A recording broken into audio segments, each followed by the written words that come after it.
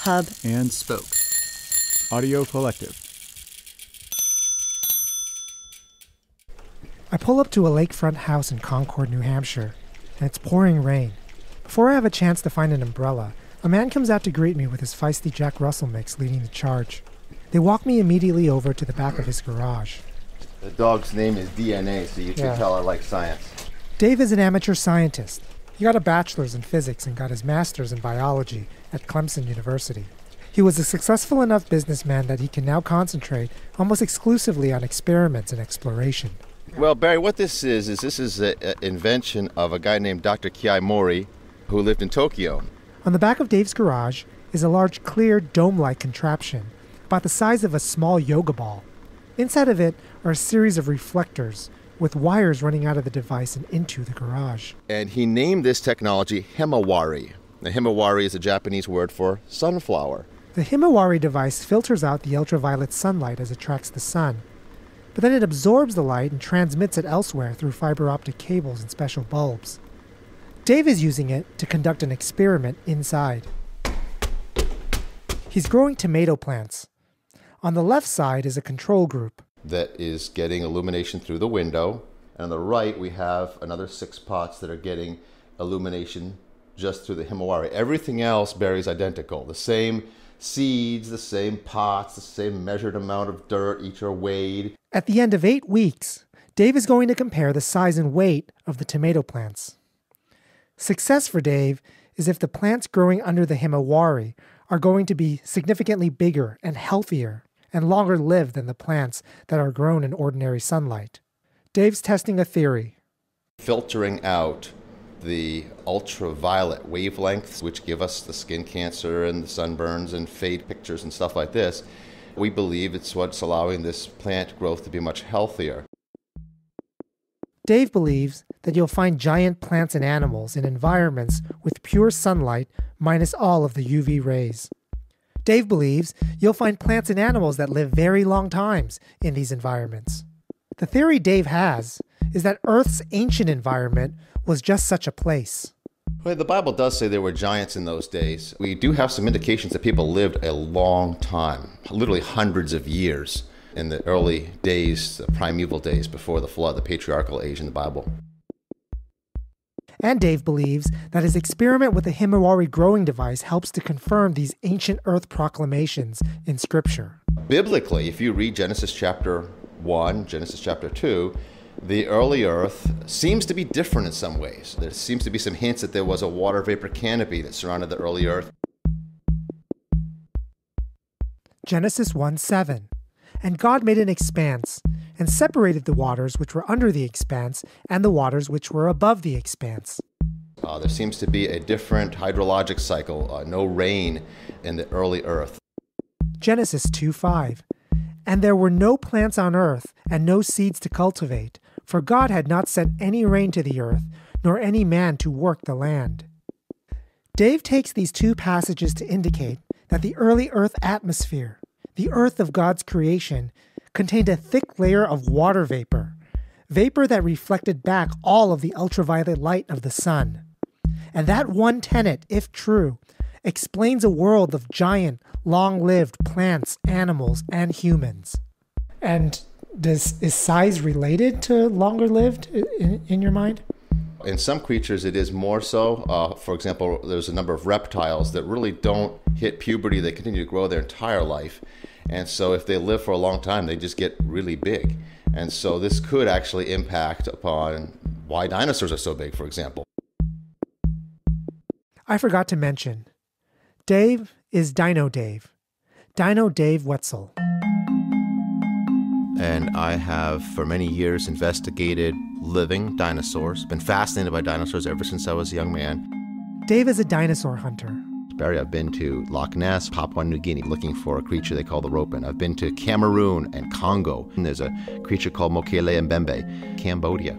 Looking for a creature called Set El Law, the Amazon, of Lake Nahuel Huapi. I've been up to Lake Okanagan in British Columbia. Because I believe that God created these dinosaurs to show his power and his greatness, and they lived alongside man. And we read in Job chapter 40, for example, about a fantastic creature called Behemoth, which has got a long tail, and it's said is the biggest thing God made. Uh, very likely a sauropod dinosaur, still around at the time of the patriarch Job, uh, which is the oldest book in the Bible. And God says, Behold now behemoths, look at this creature. And he's trying to make a point. That creature is big and intimidating and arrests your attention. Think how great I am as your creator.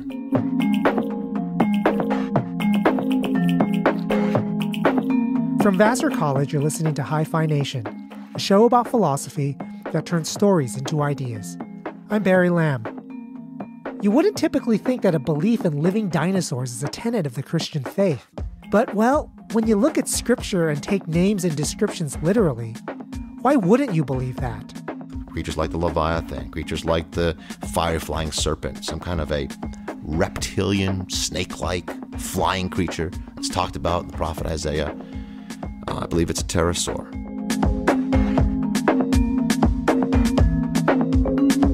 If you think Dave is a nut, you're not thinking hard enough.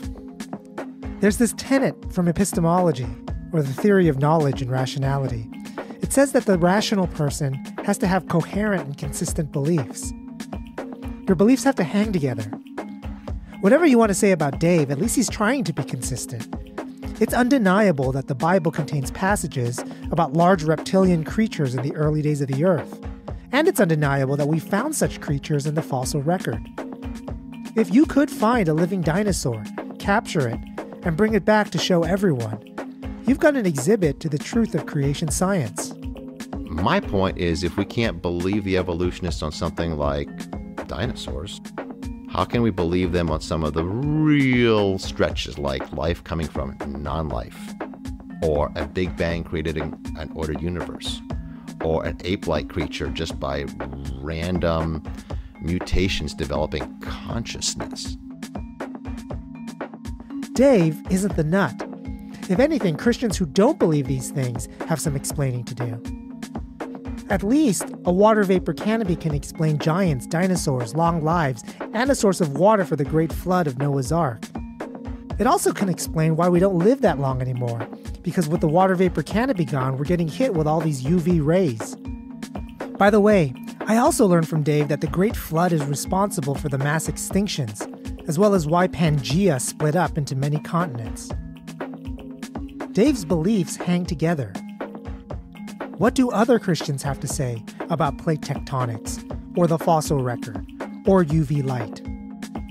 On today's show, we're going through two stories of people who are trying to make their religious beliefs fit with the empirical facts. Because of this central tenet that our beliefs should all fit together. Throughout, we're going to look at one philosopher's theory that this is all wrong. But what he actually says is that we've understood religious beliefs all wrong. They're not actually beliefs at all. It's a view that both atheists and fundamentalists are sure to despise. But could it be true? I'm Neil Van Leeuwen. I'm an associate professor of philosophy and affiliated with the Neuroscience Institute at Georgia State University. Neil Van Leeuwen has a theory, a theory he's been pushing for the past few years. It's a theory about religious beliefs. Actually, he doesn't even want us to use those two words together religious and belief. Neil believes that most people who are religious don't actually believe the tenets of their religion. And it's not because he thinks they're hypocrites or lying out of bad faith. He thinks it's because of what it means to believe something. This thing I'm calling factual belief, we all have thousands of them and they're really mundane. So, you, Barry, for example, believe that the currency in France is the euro you believe that New York City is in New York State. So it's kind of the bedrock, and we don't even usually call them beliefs. We just say how things are or how we take them to be.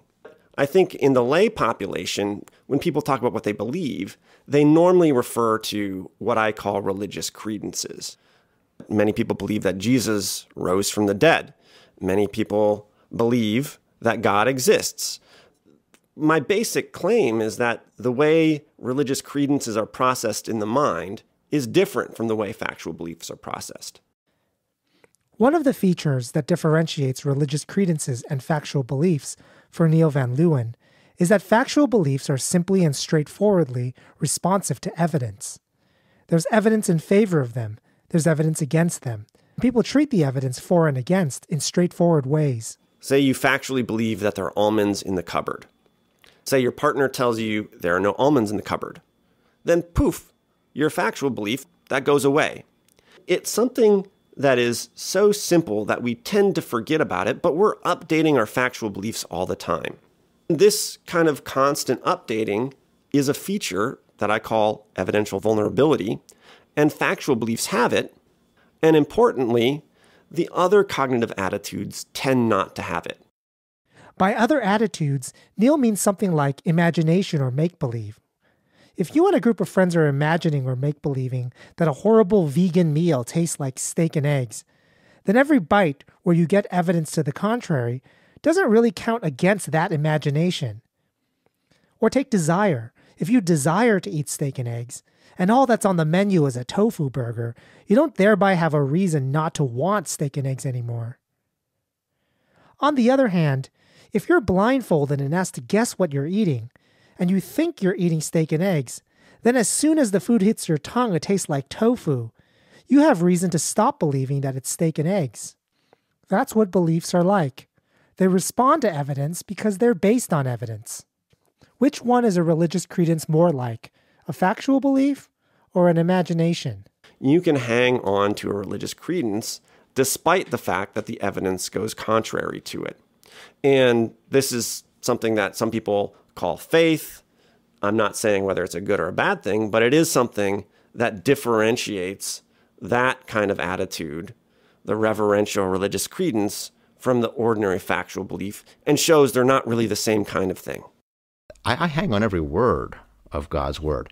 And if, for example, God's word talks about dragons, well, there were large reptiles that existed on planet Earth that interacted with humans. Dave has a vision of opening an outdoor museum and theme park, Genesis Park, where he exhibits artifacts, models, and theories.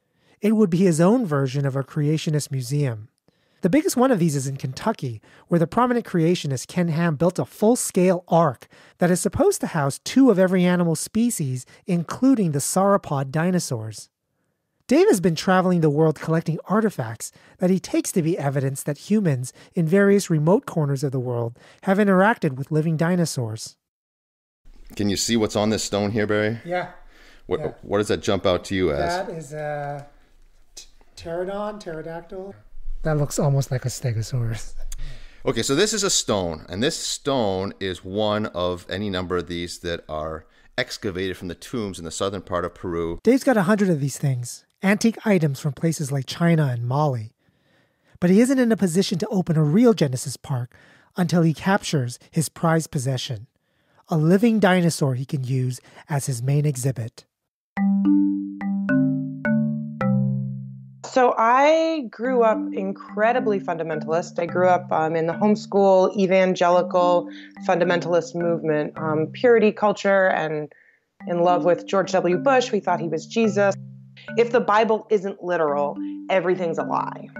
That is what they teach you very early growing up. Liberal Christianity isn't really Christianity. Catholics aren't really Christians. The Presbyterians aren't really Christians. Only the fundamentalists are Christians. And I believe that. Hi, I'm Laura Jean Truman, and I write over at laurajeantruman.com about Christianity and mysticism and monasticism and surviving fundamentalism. Laura Jean Truman is my guide through fundamentalism as someone who reasoned her way out of it. Laura also went to seminary, Candler School of Theology at Emory University. Laura's well versed in theology and how they teach preachers to guide people through their religious tenets. Candler takes a pretty hard line on fundamentalism. The creation story is myth.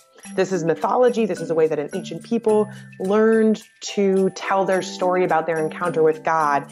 And it's firmly in a genre that we see other peoples telling those stories in the ancient Near East. So we read, along with Genesis, we'd read a lot of other ancient Near Eastern texts about creation to kind of see this Bible didn't come out of a void. We have other literature from that period that we can compare it to.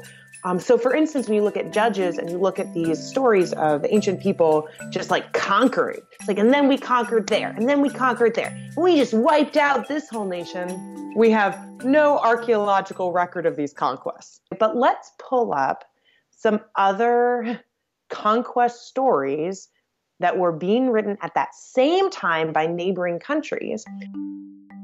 And we see a lot of other conquest stories at that time that were also total bullshit.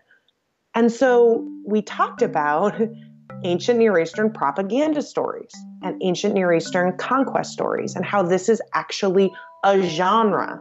No one destroyed anybody. So it's not that the Bible is specifically lying, but that we're talking about propaganda from thousands of years ago that everybody did. And hey, I get it. I agree the Bible's not a history textbook, it's not a science textbook. But if the Bible's God's word, then when it speaks to history, it's true. And when it speaks to scientific matters or matters that impinge upon science, it's true. And if you're going to say it's just not true and it's just, uh, you know, got to be taken with a big grain of salt, at what point does it become true? If you want to believe that Jesus Christ lived a perfect life, died on the cross, was buried, and was raised again on the third day. I mean, the core, basic fundamentals of Christianity. Well, you want to believe that John is literal history, and the book of Matthew and the Mark, the Gospels. Well, where are you, uh, you know, going to say, okay, that's history, but Genesis isn't? You see the inconsistency there? Was there a particular moment or experience that you can point to that you made the transition? Was it a sudden one? Like, I think I'm an atheist or something like yeah, that? Yeah, it was it was a literally overnight. I had just been to a lecture and it was a religious lecture. It was a, a female pastor who was gay and liberal and she was talking about how evolution was true. And I remember listening to her and thinking, I just need to buy this, that evolution is true. We need to stop pretending we can not do this anymore. And then later that week, I was reading Dawkins, and I don't even remember which passage it was. Dawkins is the famous evolutionary biologist and atheist, Richard Dawkins. And I just thought, there's just no God, is there? And it was like all of a sudden, all of a sudden, oh, there's there's no God. And it was the strangest thing because all of a sudden there was this sense of there's nothing with me right now. Like I am doing this all on my own. Genesis wasn't literally true, and the Gospels were all a mashup of different ideologies and uh, I'm not going to lie, it felt really freeing. It was really nice. I was like, I can do whatever I want with my life. Have you noticed that there's actually something that you and atheists have in common is that you believe that the Bible is God's literal word or it isn't. And that's different from a lot of people in the middle, both Christians and non Christians. I have some refreshing debates with atheists in that we can both agree what's at stake here. Uh, the atheists will say evolution really doesn't have room for God. They're just upfront about it and, and they don't try to play cute about it. So it was pretty easy. It was pretty easy for me. I was like, well, there's just no God, which and also like I was a fundamentalist. I mean, Dawkins is a fundamentalist. I already had the framework for, oh, here's a very black and white, simple way to have a belief system. And Dawkins was like, here's a new one. And I was like, excellent. I'm in for that.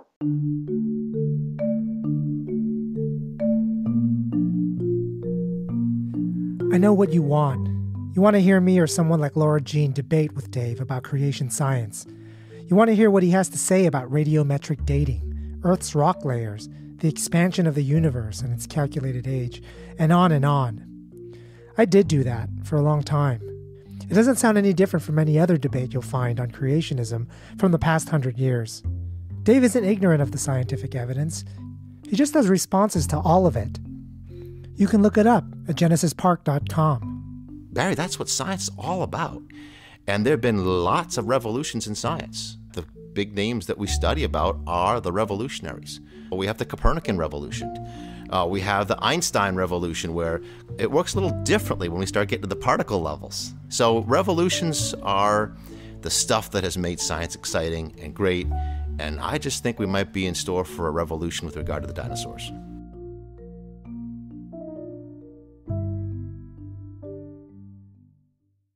My love of learning never ended.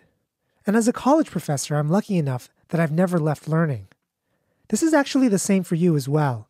The Great Courses Plus is a streaming service that gives you unlimited access to learn from award winning professors about virtually any topic philosophy, history, science, art.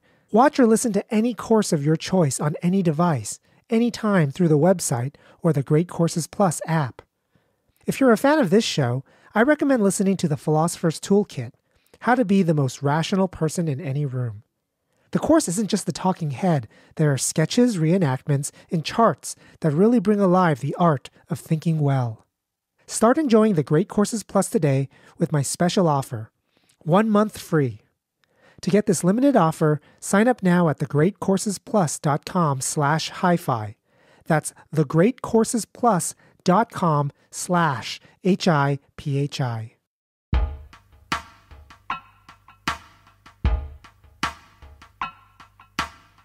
It isn't news to anyone that a lot of religious beliefs are impervious to evidence. Neil Van Leeuwen uses this observation to argue that people actually don't believe the tenets of their religion. Factual beliefs are responsive to evidence. These people have a totally different attitude toward religious tenets. On its own, the argument isn't persuasive. There are certain beliefs that people have which they'll believe no matter the evidence, and these have nothing to do with religion. Some parents, for instance, believe their children are saints no matter the evidence. Why think these things aren't beliefs at all, rather than just beliefs that are not rational?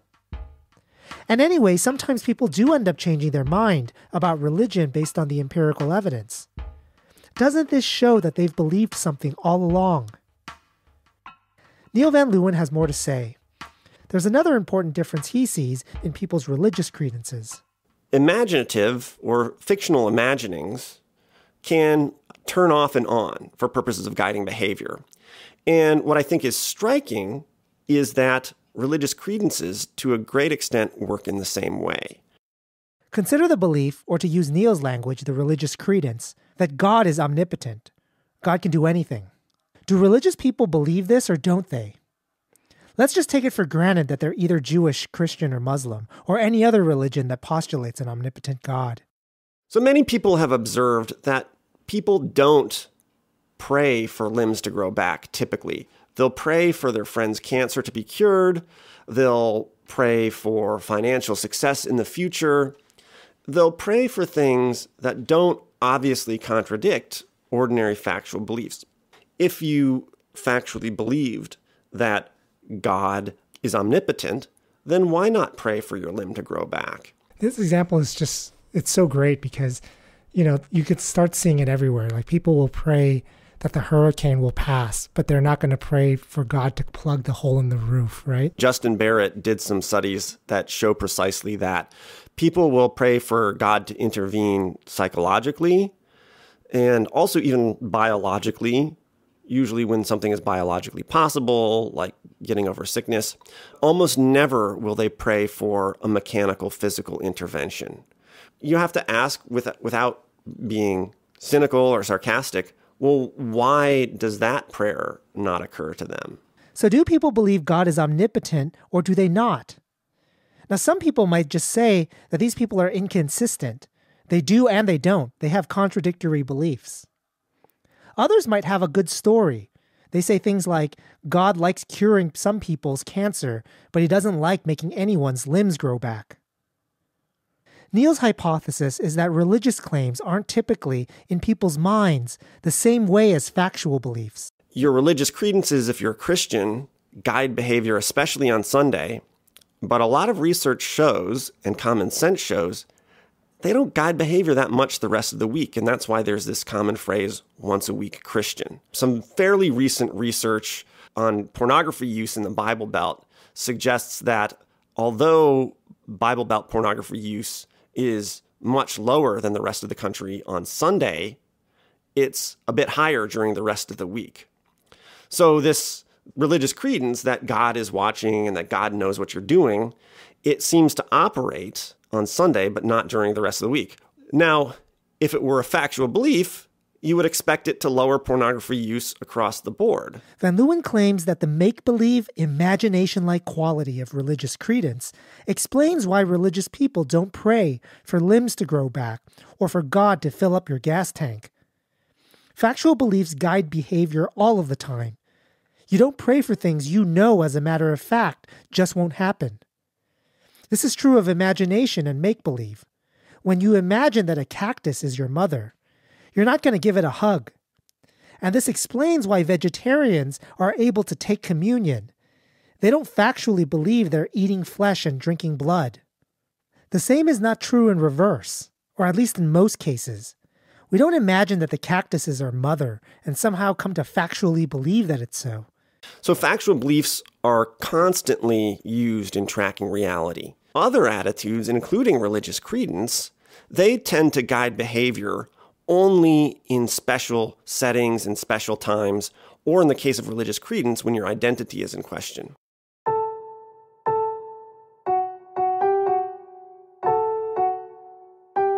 So, what was missing about atheism? How did you get out of it? I mean, my first thought was, oh my God, I'm gonna go out and get wasted. Like, I'm gonna go party hard. This is gonna be crazy. Um, turns out, atheist or religious, like, that's not really my scene. And that was kind of disappointing, actually, because I think I was I was also taught by fundamentalism that you know atheists are all wild and doing drugs and having sex orgies, um, and I was kind of disappointed that I I didn't like doing those things. It's like, what's the point of atheism if you're still you and still boring? Could, could you tell me what mysticism is? Yeah, um, so this is a good question.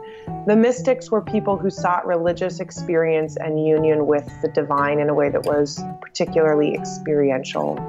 Pursuit of union with God, intimacy with God. Most mystics, I would say, talk about it as a sexual experience. The Catholic mystics would specifically say union, the idea of oneness, being one with God. When you have a religious credence, oftentimes you improvise further downstream religious credences that suit the situation. And it's a kind of creative process, it's not a rational inference process. So, for example, Hindu practitioners regularly invent local deities that aren't in the official pantheon of the Hindu religion. Well, I would say the proliferation of so many different varieties of Christianity is partly due to the fact that people do elaborate inventively on the same Bible and go different directions with it. And there's some good examples of this in the Vineyard Christian Fellowship that anthropologist Tanya Luhrmann talks about. People play make believe as if God is present People pretend to have breakfast with God, sometimes even pouring God a cup of coffee. And this is all part of a process that's designed to make God feel more real in their life. It really is, in this case, a game of make believe. This kind of make believe invention happens a lot more often than we like to acknowledge with, with religious credences. So the official religion gives you kind of a template but then you engage in a lot of imaginative elaboration on what God is, say, in your life or in my life. Factual beliefs, on the other hand, are not freely invented. We make rational inferences from our factual beliefs, but once we start freely inventing other things about them, we enter into the world of fiction rather than belief, and we recognize this. We don't start factually believing the fiction, the fact that people so easily start having religious credences in things their community invents is another sign to Van Leeuwen that people aren't believing their religious tenets as facts. Have you thought about how much a religious person, particularly somebody who's sophisticated enough to be writing Christian apologetics or whatever, would see or view as incredibly condescending to the activity that they claim to be engaged in, likening what they're doing to a game of make believe, which they will just deny that that's exactly what they're doing. Right? Like they're, they're going to find it offensive in some way, right? I think we're going to get different reactions from, from different religious people. And I think you're, you're certainly right that, that some might react that way. And I think some religious people, especially in the West, are committed to the myth that their religious beliefs are just like any factual belief that you might have. But I think that outrage response itself has a certain make believe character. I would say, okay, maybe yours aren't, but what about the once a week Christian? If they factually believe that God is always watching them, why don't they act like it's six days a week? And you look me in the eyes and tell me that it's not like a game of make believe. Your outrage doesn't impress me.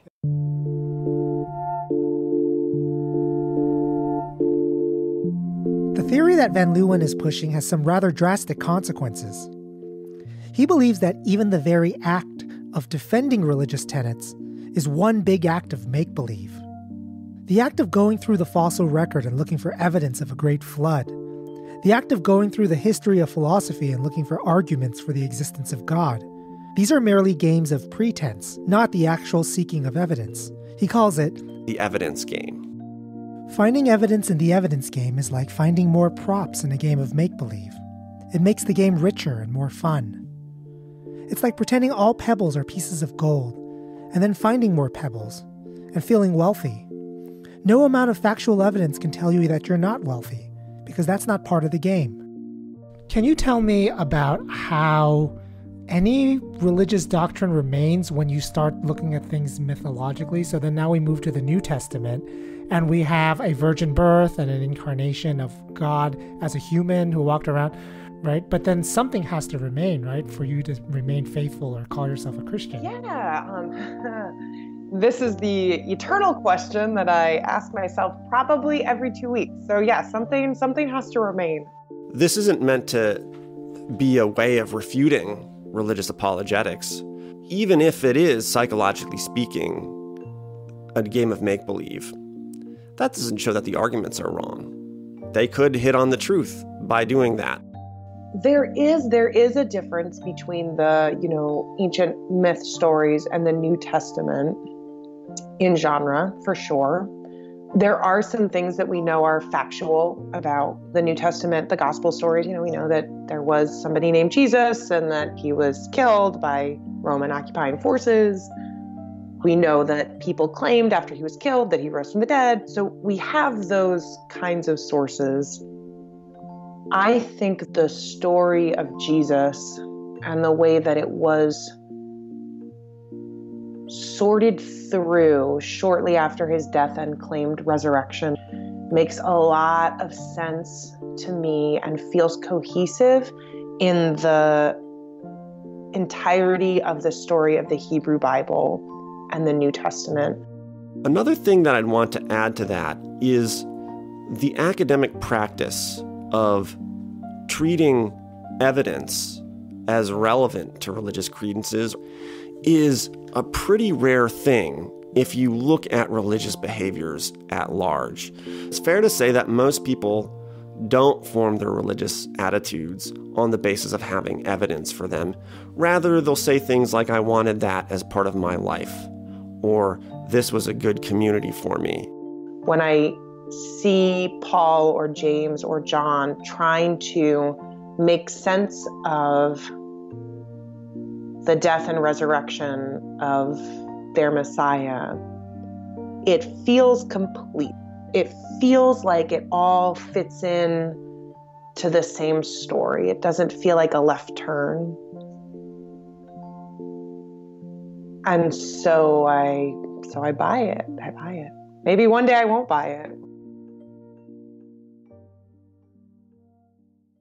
When a philosopher or cognitive scientist postulates that there's a whole other category in the mind and say that religious claims go in there, you should take them at face value that they're not trying to refute religious claims themselves.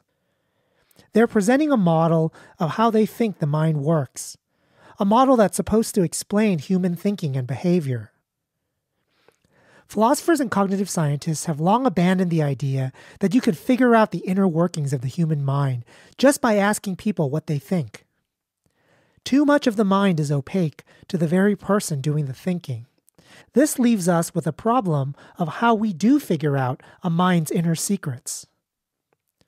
There is something I was taught very early on in school as a philosophy major, and it's something I impart very early on in my own classes. Don't treat people as stupid. It's called the principle of charity. The principle says that whenever we're trying to figure out what someone is thinking, and you have a choice between attributing to them something smart or something stupid, go with the smart one. I actually think Neil Van Leeuwen's view is operating on a principle of charity. He's looking at a body of tenets. He's looking at a range of human behaviors, and he's saying to himself, you could think that all of these tenets count as beliefs, but that would make people contradictory, irrational, completely insensitive to evidence, hypocrites, and weak willed. But people aren't stupid. So if we're going to be charitable, it's better to think that the tenets aren't beliefs, but more like imagination and make believe. This way, their religious credences don't have to hang together with their ordinary beliefs. They don't have to follow their tenets all of the time, and they're not irrational or hypocrites or weak willed. In a way, Neil's the good guy here. The people who have been most hardcore critical about criticizing me have been serious atheists. People like that are committed to the idea that religious credences really just are crazy factual beliefs. They think I'm, I'm letting religious people off the hook if you have a, a, a religious credence, say that a virgin gave birth, if that's more like an imaginative attitude, it's maybe not so crazy because it is compartmentalized. Whereas if you have a factual belief that a virgin gave birth, then you're a crazy person. As surprising as it sounds, Neil Van Leeuwen's view has the consequence that we should be more tolerant of religious views than we would be if we treated them as ordinary factual beliefs. Sure, there are a lot of surveys where you get people who are in Muslim countries saying that apostates should be put to death. But importantly, you actually only find that that happens very rarely. There's a huge gap between professed belief and actual action. A large part of that gap can be explained by my view, and it should lead us to think, well, actually, most religious people are more sensible than hardcore atheists would portray them to be. Principles of charity, though, can come into conflict. There's another principle of charity you can employ, and it'll give you the opposite answer from Neil's. It says that when you attribute states of mind to people, don't make them massively mistaken about their own states of mind. When people avow a certain belief, and it seems to them just like every other belief they have, then treat them as though they're not stupid. If they say they believe it, if they think they believe it, we have to be charitable and attribute to them the belief. Neil Van Leeuwen's principle of charity maximizes a person's rationality. This principle of charity maximizes their self knowledge and may also maximize their autonomy and responsibility for their own states of mind? I think there's just so much fear in fundamentalism. Once we lose this black and white, simple way of seeing scripture, we lose everything. There's there's nothing left. I think that that ultimately will always leads to a total collapse in belief. I think because fundamentalism is not cohesive, it is not cohesive scientifically, it's not cohesive by the rules of its own game. There will come a point of biblical interpretation where you either have to block off half your mind and say, I'm just not going to think about this particular idea. That creates so much internal distress. Like, that is so distressing to do that. Living with that kind of hypocrisy in your soul leads to uh, psychological trauma. These people are not going to make it out of their lives in, in a healthy way, I think, and that's sad. Well, you're closer to the community, so you have a more insight about it. Uh, my my fear is that they're just fine. oh, they're not fine. They are not fine. Can you convince me that that's true? Um, people who are that easily angered, people who are that quick to cut people out of their lives. The the fear there, the like almost panic that causes people to be so incredibly black and white and so incredibly aggressive towards people who are different from them. Those are not responses of a happy and healthy mind. In light of all I've learned from Laura Jean Truman and Dino Dave Woetzel, and philosopher Neil Van Leeuwen. I think that Neil's view just can't be true of everyone who has religious beliefs. A thoroughly consistent fundamentalist might just be the kind of person who is allowing their religious beliefs to take over their factual beliefs. There aren't two boxes in their mind, just one. But many religious people, maybe even most, aren't like this. It depends on the person, and Neil recognizes that.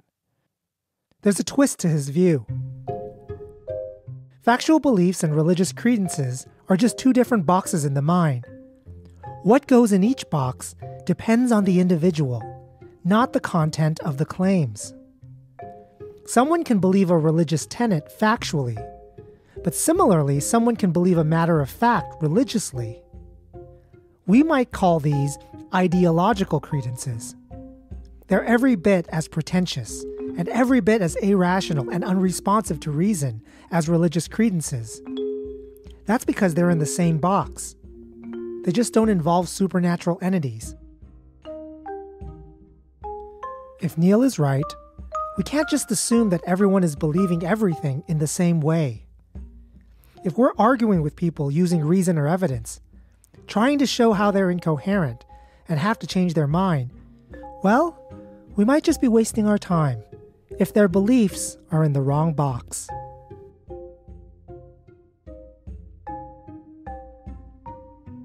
This episode of Hi-Phi Nation was produced, written, and edited by Barry Lam. This episode of Hi-Phi Nation was made possible by James Kropcho, whose monthly donation at Patreon helps to keep the show going.